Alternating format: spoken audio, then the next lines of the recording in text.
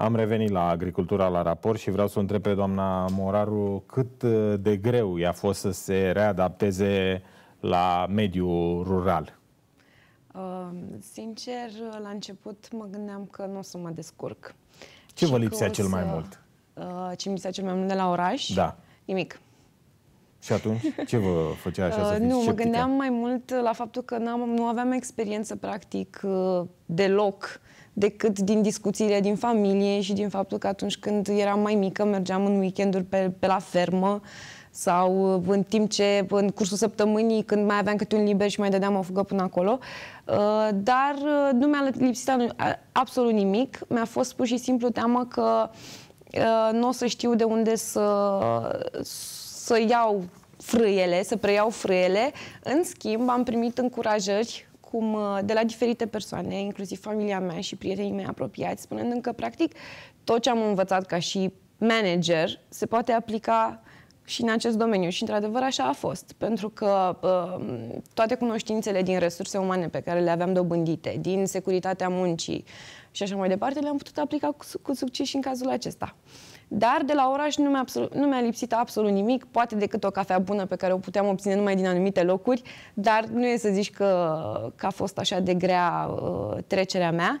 Singura provocare pe care am întâlnit-o exact în prima mea săptămână, uh, la începutul lunii iunie, uh, eram în plină campanie de recoltare la Cireșe și mi-am că am ieșit în poarta fermei să mă uit în vagon să văd câți oameni, uh, câți zilieri avem pentru că având un target uh, de anumit anumite tone sau lăzi pe ur, cum, vrem, cum vreți să le ziceți, uh, forța de muncă, apropo de ce vorbeam mai devreme, de, de ce lipsește, de ce tot pleacă oamenii de la sate în străinătate, lipsind această forță de muncă, erau acele emoții, știind că dacă nu avem destui oameni în ziua respectivă, nu o să putem să trimitem mașina cu, cu tot ce, cu targetul zilei respective. Și stăteam în poartă și mă uitam și încercam să număr în vagon câți oameni sunt, după care sunam și dădeam raportul la, la câmp. Sunt atâția. Și urma să, să urc uh, și eu la rândul meu în livadă. Dar uh, au mai fost și zile cu ploi, când stăteam zgribulită în comparație de cum sunt aici și stau lejer pe scaun, dar acolo stăteam zgribulită în câmp cu caiet și picurau sub Ce un copac. Ce efectiv în fermă? Ce faceți dumneavoastră? Care e treaba dumneavoastră acolo? Uh, am început cu actele cu tot ce înseamnă contabilitate și ceea ce se predă mai departe pentru contabilitate, cu uh, plățile uh, a ceea ce consumam, uh, cu munca efectivă fiind muncă de zilier la momentul respectiv când am început, acolo cu ei, în câmp, uh, socotit activitatea lor de pe ziua respectivă, bineînțeles, preasfințitul registru al zilierilor, zilierilor și trecutul notatului acolo. Am început cu lucruri ușoare, după care am continuat cu uh, campania propriu-zisă de recoltare a cerealelor, care a fost un pic mai dificilă, Uh, pentru că nu știam exact ce se întâmplă în spatele uh, panoului pe care l-aveam afișat din uh, campaniile trecute din, prin care trecuseră părinții mei. Și campania de la Rapiță mi s-a părut cea mai grea, pentru că atunci au apărut și cele mai multe probleme cu pană în câmp la uh, combină și uh, fiind în plin weekend, nu mai știu, era și o sărbătoare atunci și aveau liber luni parcă. Uh, ne găsim mașină, coadă la siloz, au fost uh, țânțari și diferite insecte. Au fost niște momente un pic mai, mai grele, dar le-am trecut cu brioș și am fost foarte mândre de mine și sper că și familia mea la fel. Uh, V-ați gândit vreo secundă să renunțați? Nu. Să... Nu, absolut deloc, pentru că știu foarte bine că uh, am în mine uh, puterea pe care au avut-o și părinții mei și am în mine dorința aceea de a face ceva. Cât de grea, iertați-mă că vă întreb, cât de grea a fost până la urmă trecerea asta de la tastatură la utilajele agricole? Uh... De la tastatura unui laptop, să spunem. A fost un pic greuță, dar v-am spus, nu, nu mi erau străine chiar toate. Nu mai știe, numai că nu știam efectiv ce se... De fapt, nu trecusem practic prin uh, toate acele uh, munci grele. În teorie le cunoșteam, dar nu trecusem practic. Și, într-adevăr, trecerea de la un scaun de piele cu tastatura în față la un scaun de plastic în mijlocul câmpului n-a fost ușoară, uh, dar uh, am trecut-o cu ați brio. Ați condus efectiv utilaje, ați mers pe ele, ați făcut muncă de asta, cum să spun, da, de... Da, Da, Mecanizator? am condus uh, un Belarus Am înțeles. pe aproximativ un kilometru și înapoi. Uh, și un, uh, un tractoraș un pic mai mare, nu știu dacă am voie să-l nu, numesc. dar lăsați e ok. fără firmă, am înțeles. Înțelegeți. Da, da, da, da, da. Da, am condus. Ce senzație ați trăit în momentele alea până la urmă? Am, De uh, satisfacție până la urmă, de împlinire? Adică v-ați a fost văzut... o glorie personală. A fost o glorie atunci. Și chiar uh, mi-am văzut viitorul, că asta, asta era practic viitorul meu încă de când uh, am apucat-o pe celelalte căi în loc să continui cu, cu ce aveam în mână de fapt. Domnule primar, vreau să revin la dumneavoastră și să vă întreb dacă spațiul rural românesc trebuie regândit. Da, și mă bucur că puneți asemenea întrebare, neavând nimic dinainte prestabilit, dar aici mi-am fixat câteva puncte.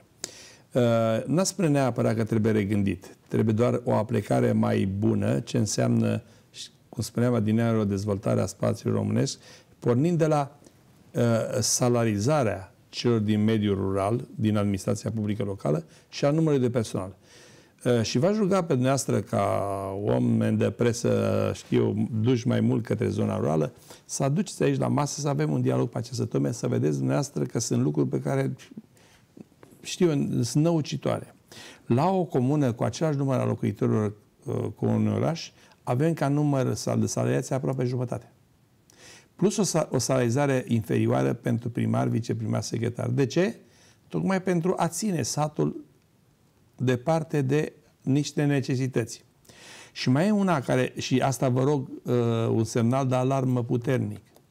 Să știți că satul românesc la ora asta e depopulat din cauza apariției legii învățământului în această formă. O să vi se spună, o să, domnule, dar de ce? Păi să vă spun de ce. La ora asta, ca să poți să mai funcționezi cu, uh, cu clase, trebuie să ai un număr minim de elevi de 10. Uh, Gândiți-vă, vă rog, că dacă ai 9, trebuie să duci copiii de aici la cealaltă școală. Ducerea, și vă rog să, uh, să, să priviți în istoria civilizației noastre, școala, biserica au reprezentat pilonii de bază a oricărui sat.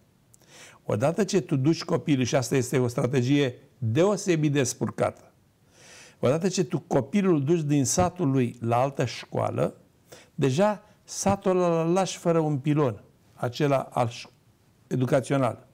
Pe de o parte. Pe de altă parte, părinții care sunt puși în situația de a vedea copilul lor că pleacă mai departe la școală, nu mai duce doar la școala cealaltă, îl duce la oraș.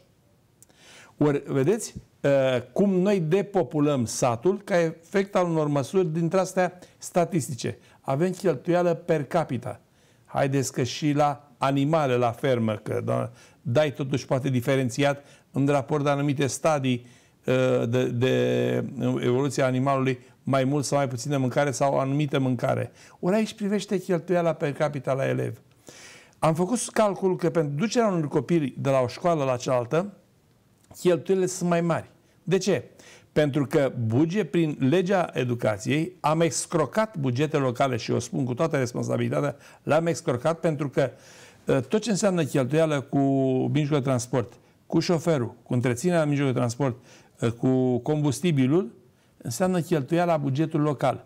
În loc să mai uh, suport din bugetul de stat mai puțin pentru cheltuiala dascălului care să ducă acolo la școală la el, fac o cheltuială mult mai mare, tot dintr-un ban public, care uh, numai noi știm ce înseamnă asta, să-l ducem în altă parte. Asta un an, doi, trei, după câțiva ani, satul ăla este închis, pentru că așa a avut o lege gândită de unii care stau bine mersi pe niște lefuri uh, normale, zic eu, și iau decizii în care privesc uh, oamenii ca pe niște cifre. Oamenii nu sunt cifre, oamenii sunt oameni și trebuie să-i tratăm ca tare. Și mi-aș dori să văd acel post de televiziune care vine cu o masă rotundă cu oameni de la Ministerul Educației, cu oameni de la Ministerul Dezvoltării, cu primarea ai comunelor și comune bogate și comune sărace și o să vedeți cum stau lucrurile, realitatea aia de la, la, de la firul ierbii. Eu am... Vă propun să facem o astfel de dezbatere chiar aici la Agricultura la raport în Vă rog, perioada oricând vă imediat stau la următoare. dispoziție. Vă Pentru stau că la până la urmă învățământul, așa cum spuneați și dumneavoastră, educația sunt uh, vitale Nu, pentru dezvoltarea această societății. lege, nu numai această pentru cea din lege mediul rural. programează desfințarea satului românesc. Pe termen de, deosebit de scurt, nici măcar lung. și stau de vorbă, eu merg în toate județele României, mă întâlnesc cu primarii comunelor din toate județele României, același lucru la toți. Ori nu poți tu să spui, eu am fost în Letonia și vreau să vă spun că acolo am văzut e, e, educatoarea cu doi copii în, la grupa de credință. Nu înseamnă cheltuială când faci educație. Pierderea cea mare este atunci când nu cheltuiești pentru educație. La noi se pune problema cheltuiești pentru educație. Nu, asta este clar că programăm lipsa de educație a tot ce e mai important. Copilul ăla care este valoarea reală a satului românesc, valoarea reală la nivelul României. Noi, România o dezvoltăm pe seama acelor copii. Ori la ora asta suntem în acea generație în care, practic, clădim și luați ca atare, clădim distrugerea satului prin legislație. E realitate. Domnule primar, vreau să vă mai întreb ceva. Cum se poate dezvolta satul românesc din punct de vedere non-agricol? Da. Uh, și vreau să, și tot la fel m-am întâlnit cu colegi primari. Pentru că e mult mai atractiv, uh, atractiv satul românesc pentru dezvoltarea activităților non-agricole, pentru că impozitul pe proprietate este mai mic. E clar că dacă uh, ai o, într-o localitate apropiată de un oraș o activitate, uh, știu eu, și ai, pentru clădiri respective, plătești de 3 ori, de 5 ori, am spus, față de București, de 8 ori mai puțin impozit pentru aceeași clădire. E limpede că de la început tu ai un venit pe seama faptului că plătești un impozit mai mic și foarte mult să uh, merg cu uh, spațiile non-agricole în mediul rural pentru acest considerent. Ori noi suntem, avem toată deschiderea și cunosc foarte bine colegii primari ai comunelor și știu Vă aduc primarul comunei din Dudești, noi, din județul Timiș, unde uh, vă veți vedea ce grafic are privind evoluția veniturilor proprii, tocmai pe seama atragerii uh, activităților economice la el în comună, comună apropiată Timișoarei. Doamna Moraru, care sunt cele mai mari probleme ale satului românesc din uh, perspectiva dumneavoastră? Uh, lipsa forței de muncă și lipsa voinței oamenilor care, sunt, care încă mai locuiesc satul, apropo de ce discutam mai devreme cu domnul primar. Uh, Uh, am, au fost, am întâlnit cazuri în această vară, când, uh, apropo de ce discutam mai devreme cu vagonul de zilieri, când uh, în necesitatea acestor oameni pentru a putea să ne ducem munca la capăt și nu numai noi, și alți colegi fermieri din zonă, oamenii efectiv refuză să vină la muncă. După cum prea bine știți, au un anumit, iau o anumită sumă de bani pentru ziua respectivă, pe care pe timp de iarnă nu cred că au atât de... nu au foarte multe locuri de unde și, și pot câștiga, în schimb pe timp de vară refuză să vină la, să vină la muncă din anumite motive, dar în schimb stau cu uh, coatele în gard de vorbă dimineața la o bârfă. Acum, trecând prin, uh, prin uh, experiența mea proprie, eu personal aș încuraja pe oricine să, să se mute în, uh, în mediul rural, pentru că este mult mai bine ca și tânăr să-ți poți construi tu cu mâinile tale și să nu uh, îți oferi uh, viața în frâu altuia. Pentru că uh, se oferă foarte multe posibilități, atâta timp cât ai voință și cât vrei și cât timp ai de unde să te agăți de un start, se poate. Domnule primar, apropo de ce spunea și doamna Moraru, apropo de ce spunea și dumneavoastră mai devreme, vorbeam despre educație, despre importanța ei, ar trebui pus mai mult accent pe școlile de meserii? Categorii, da. Și școala de meserie trebuie făcută acolo unde este viitorul meseriaș pentru că este o cheltuială mai mică pentru familie, pe de-o parte, pe de altă parte, copilul fiind mai aproape de școală, poate lucra mai mult în familie. Trebuie cuantificată această pierdere de timp cu naveta de la la. Și o spun cu toată responsabilitatea. În România, legea educației naționale este cea care desfințează satul românesc atenție, nu cred că ați auzit pe cineva în spațiu uh, public spunând treaba asta, o spun și am toate argumentele pentru a dovedi că legea educației naționale desfințează Haideți statul românesc. să veniți și cu argumentele astea pentru ca lumea să înțeleagă mai exact păi despre v-am spus, de vreme ce tu nu plătești uh, un dascăl să le duce pe copil în satul lui și preferi să-l muți pe copil după școală, este limpede că la, la satul respectiv ai distrus unul din pilonii importanți. Eu vreau să vă spun uh, vârsta face să știu, școlile din România, multe școli au fost făcute cu munca, cu contribuția în muncă și în bani a populației României. Ori acum ele sunt închise pe seama faptului că ducem în fermă, acceptați această formulare, o fermă mai mare. De ce să mergem noi să uh, uh, ducem un dascăl după copii? Las că ducem noi copilul acolo, că e o cheltuială pe, uh, per capita mai mică. Nu, este mai mare. Pentru că nu s-au luat în calcul cheltuielile cu deplasarea copilului uh, și multe, multe alte elemente. Și cel mai important, și insist asupra acest lucru, nu se poate desfința școala din satul românesc. Odată desfințată școala, satul l-am pus pe butuci. Și legea educației naționale, prin anumiți indivizi, asta au dorit, să desfințeze satul românesc. Doamna Moraru, satul românesc poate fi sat european? Este o realitate sau ficțiune până la urmă? Uh, este o realitate în devenire. Pentru că cel puțin de unde provin eu din satul uh, din Bordușani, uh, este în devenire. Se lucrează către un viitor mai bun pentru locuitorii satului românesc. Acum, din cazurile pe care le-am întâlnit la televizor, la știri, sunt niște sate și de condiție mai mică, unde poate preocupările oamenilor sunt, uh, sunt mai reduse către un viitor mai bun. Dar există un, potenți- un potențial destul de mare să ajungem acolo. Domnul eu, primar, eu aceeași întrebare am, și pentru am o dumneavoastră. observație. Vă rog. De ce când ziceți dumneavoastră satul românesc, satul european, de ce vedeți că neapărat satul european reprezintă o valoare în raport cu satul românesc? N-am spus că reprezintă Păi nu o ați spus, val- zice, valoare. satul românesc poate să fie un nu, sat trebuie european? să ne raportăm până la urmă sau să tindem către valori europene. Și mă refer aici nu neapărat la uh, alte lucruri, ci la Nu, asta ca infrastructură. Să ne, să Nu. ne cate- categoric da, și sunt sate românești, sate în România, cunosc foarte bine, care au o dezvoltare a infrastructurii pe toate fronturile mult mai bună decât a multor municipii. Atengeți, chiar și a municipiilor. Sunt sate uh, care au astfel de dezvoltare și pe seama faptului că au fost atractive mediului economic, uh, apropiate de marile municipii și automat, uh, cum spuneam, uh, de ce să construiască o clădire unde nici nu avea unde cu costuri mai mari într-un municipiu și să nu se ducă într-o localitate apropiată de municipiul respectiv. Mai ales acolo unde aveai și un mijloc de transport, cale ferată, ceva în apropiere. Avem comune unde din 2000 până în 2012 populația s-a triplat. Datorită migrării de la oraș la Da, sat. chiar uh, și, uh, vă dau o comună Dumbrăvița din județul Timiș, unde am fost de mai multe ori și cunosc cât de cât de realitatea. Copiii din municipiul Timișoara, într-o parte a municipiului, merg la școală în Dumbrăvița.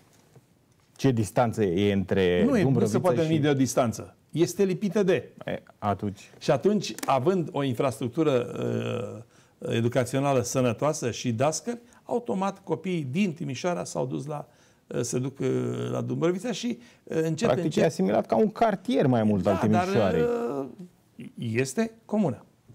Da, bine, genul ăsta de exemplu îl putem avea și aici La în jurul foarte, Bucureștiului. foarte, la foarte, comune, apro- foarte multe comune apropiate de marile municipii și marile orașe. Există această... Dacă, dacă punem apă într-un pahar, apa unde se revarsă? Lângă pahar. Același, pe același principiu este și dezvoltarea localităților de lângă uh, un oraș uh, uh, mai bine dezvoltat. Ca și președinte al uh, Asociației Comunelor din România, dacă ar fi să caracteriza satul românesc între tradiție, supraviețuire și speranță, cum l-ați caracteriza, domnule primar? Tradiție, Supraviețuire și speranță. Uh, da, și speranță. În primul rând, speranță. Dar aici vreau, vreau fac uh, o trimitere la ceva. Uh, s-a mai vorbit de o comasare a, s- a comunelor. Noi suntem în total împotriva acestui aspect și eu spun așa, noi, Asociația Comunelor, spunem că atunci când vorbești de comasarea sau de desfințarea satului, trebuie să taci. De ce? Că trebuie să ai în vedere tradiții, afinități, cultură și istorie. Noi nu putem pune așa la oaltă fără să ți seama de istorie. Ori v-am spus, în mult, parte din legislație, și știu bine că am participat la elaborarea ei, m-am opus acestor uh, prevederi, uh, determină ca satul românesc să fie în accepțiunea noastră în zona încă a speranței, în unele locuri trecând peste tradiții, ne ținând cont de ea, dar sunt și zone în care supraviețuirea este pe primul plan. Chiar și eu, în comuna mea, am o zonă în care am avut și o alunecare de teren, foarte greu ajung oameni acolo, din lipsa resurselor financiare. Acum sunt, în zilele acestea se va semna contractul pentru a readuce drumul ca să poată oamenii să vină chiar și la Dacă moare cineva, îl duce în cârcă. Nu are pe unde să treacă. Asta este situația statului românesc. Avem și zona de supraviețuire. Așadar, parcă le-ați ales, nu știu, mi-a plăcut chiar toate astea trei. Avem și în zona tradițiilor, tradi- sate cu tradiții uh, și să respectă. Haideți să ne uităm ce înseamnă Maramureș, ce înseamnă Bucovina, ce înseamnă uh, Delta. Uh, da? Uh, supraviețuire. Avem, din păcate, zone sate destul de sărace și uh, vă rog să fiți foarte atenți la acest lucru. Legea educației naționale a dus și duce în continuare la desfințarea satului românesc ca pilon al istoriei și tradiției uh, românești. Este foarte, foarte grav. Doamna Moraru, dacă ar veni acum un prieten la dumneavoastră să vă întrebe ce ea spune despre satul în care v-ați mutat, cum l-ați descrie? Uh, l-aș descrie ca fiind uh, un sat care mi-a uh, scris viitorul momentan. Uh, și cum am spus și mai devreme, aș, aș încuraja pe oricine să urmeze acest drum, cine are posibilitatea să urmeze acest drum, pentru că uh, și să o facă pentru el, pentru el, pentru liniștea sa interioară, pentru că asta, prin asta trăiesc eu acum. Și apropo de tradiții, într-adevăr, tradițiile se respectă în continuare și sunt foarte frumoase și asta ne, uh, ne, ne redă speranța. Uh, apropo de tradiții, zilele trecute eu stau puțin prin comună, că sunt foarte mult plecat la activitățile legate de Asociația Comunei România și vineri uh, am fost invitat, uh, programat din timp, uh, la o activitate de vreo 20 de minute la, o grădin, la grădința de copii. Și, domnule, dacă ați vedea cu câtă frumusețe, câtă muncă, câtă dăruire pentru un spectacol privind toamna și ed- educația copilului în spiritul românesc, nu alte sărbători care le vedem noi exact. prin televiziune. Și aici o spun într-un, într-un organ de mass media, de multe ori mass media a generat, dacă vreți, un atac la cultură și la tradiție. O parte a mass media. Haideți să nu parte, generalizăm, nu, nu toate, pentru o parte, că o riscăm parte. să... Da. da, nu vreau să fiu rău, dar dacă nu încercăm să vedem că uh, ce e pe perete riscă să ne influențeze negativ, nu e bine. Doamna Moraru, o concluzie la ce am discutat aici? Uh, o concluzie. Um, sper că tot mai mulți tineri să, să urmeze acest drum, pentru că nu este deloc greu. Uh, pentru mine nu a fost, uh, nici pentru alte cunoștințe de ale mele. Nu este greu decât dacă faci tu să fie greu. Altfel, totul decurge normal atâta timp cât ești puternic și cât uh, îți dorești destul de tare ca să, să reușești să ajungi la ceea ce îți propui inițial. Domnule primar, un mesaj pentru tinerii din uh, mediul urban care doresc să meargă, să se așeze într-un sat? Să vină cu încredere că oricare primar, al comunului, oricare primar de comună își dorește să aibă tineret în satul său, pentru că, dacă vreți, reprezintă viitorul satului respectiv. Doamnă, domnule primar, vă mulțumesc mult de tot pentru prezența dumneavoastră în cadrul agriculturii la raport. Le mulțumesc și telespectatorilor și le dau întâlnire și mâine seară unde vom uh, discuta despre fonduri europene, despre modalitatea cum uh, pot uh, ajunge mai ușor la fondurile europene împreună cu invitatul meu, George Turtoi. Până atunci, vă doresc seară bună, numai bine!